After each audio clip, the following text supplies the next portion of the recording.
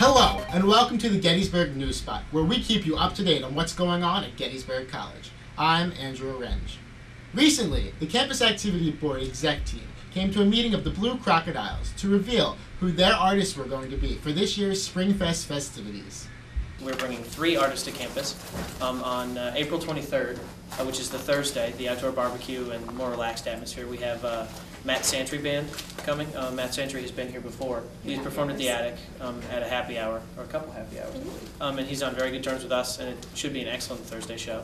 And then on Saturday, we are bringing two artists. Um, the opener is um, Super Mash Brothers, which are uh, mashup artists similar to Girl Talk, would be a, uh, a very well-known equivalent of a mashup artist. And their album is actually downloadable for free, so you can look them up. Um, it's Super Mash Brothers. And then the headliner for Saturday is uh, a hip hop group called Nux. Very high energy, very upbeat. It's uh, definitely should be a good time.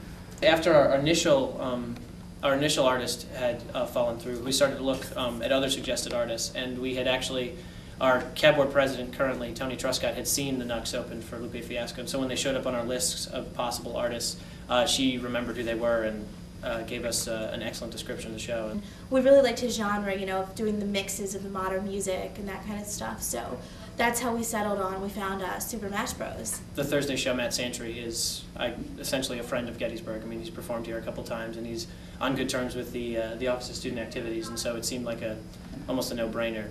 We definitely try our best to look for the most diverse acts that we can find that would still appeal to the campus community.